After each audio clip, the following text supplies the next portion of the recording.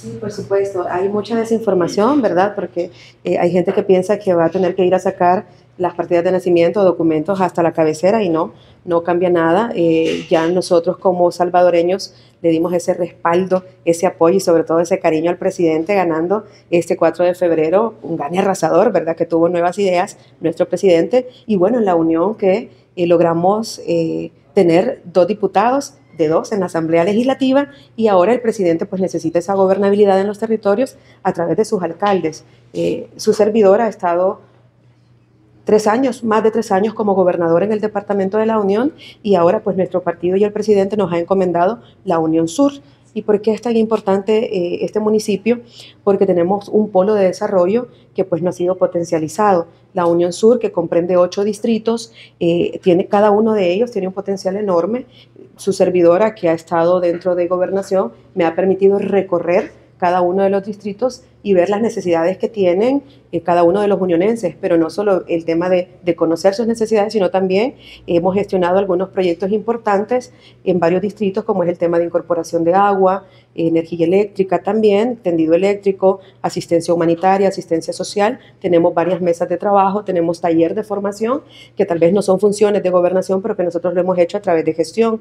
Eh, hemos gestionado estos talleres de formación con México, que es un amigo y un aliado estratégico de este gobierno, y hemos hecho eh, gobiernos locales, ahora desde la Unión Sur, yo voy a andar en el territorio, vamos a estar en cada uno de los distritos brindando esos servicios con amabilidad, con eficiencia y con eficacia para toda la población de la Unión Sur. ¿Y cómo vamos a hacer eso? Vamos a establecer ventanillas digitales en los ocho distritos para que a través de sus celulares puedan ustedes solicitar esos documentos tan importantes, pero sobre todo que puedan hasta pagar en línea sus impuestos. Vamos a hacer un estudio socioeconómico para el tema de los impuestos también, porque el presidente fue bien claro y pidió que se abstuvieran las alcaldías de subir estos impuestos a la población.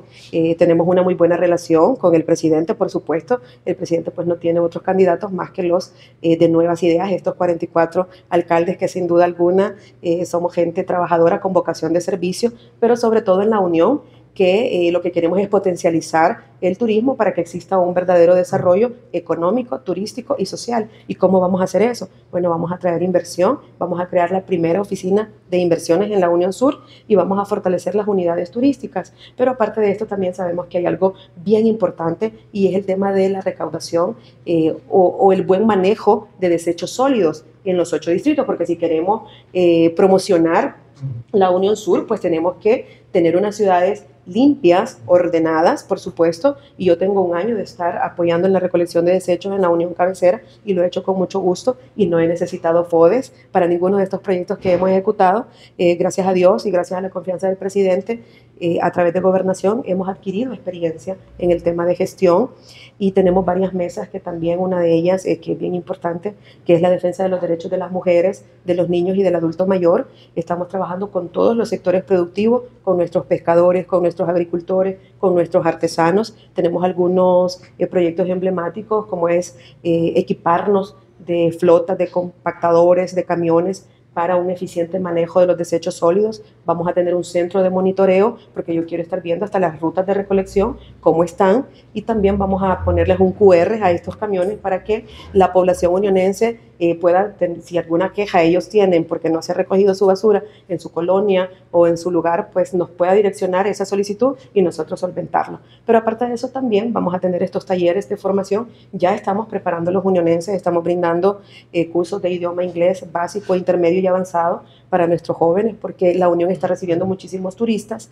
y pues como unionenses debemos de prepararnos. Además estamos apoyándole a nuestros emprendedores con asistencia técnica, pero no solo eso, sino también vinculándolos a Capital Semilla para que sus emprendimientos sean sostenibles en el tiempo. Además le estamos apostando a la seguridad alimentaria, ya que en los ocho distritos vamos a tener unidades agropecuarias donde van a haber técnicos y veterinarios en atención a nuestros agricultores, a nuestros ganaderos y además de eso también este, vamos a tener eh, nuevas técnicas como son eh, los cultivos hidropónicos que los vamos a llevar a cabo también para nuestros agricultores. Tenemos mujeres que cultivan hortalizas y que tienen que pagar sus parcelas para poder cultivar. Entonces nosotros como tenemos como municipalidad terrenos ociosos que son fértiles, pues los vamos a ceder a nuestras mujeres organizadas. Y estas mujeres organizadas con las que estamos trabajando son mujeres que han sido víctimas de violencia.